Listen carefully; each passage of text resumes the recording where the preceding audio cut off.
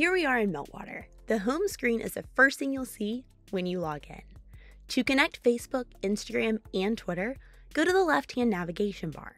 Click on the arrow next to Accounts and select Social Connections. Stay on the tab titled Monitored Connections. This page is where you connect your social accounts so you can start collecting data for specific business pages and profiles. To connect your organization's Facebook, you must have admin access to the page. Click Add Account and follow the prompts to connect. When you see your personal Facebook profile appear, don't be alarmed. It appears because you, as an administrator on your company's Facebook page, are granting access.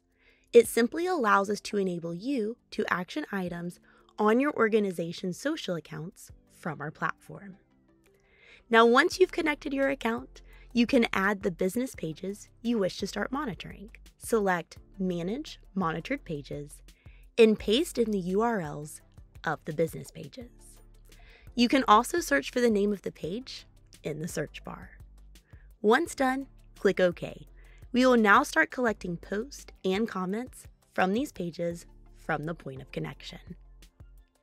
Now, Instagram allows you to track public content using hashtags or content published from business profiles. First, you will need to connect your Instagram account. Your account must be a business profile and be connected to a Facebook page. Once this is done, select Add Account. A pop up will appear that will prompt you to log in to your personal Facebook page. Similar to adding a Facebook page, your profile will need to be an administrator of that Facebook page. Now, select OK to confirm, and then select the Instagram business profile to be added. Click OK. Next, click the plus icon under Monitored Pages. Monitored pages can be any Instagram business profile.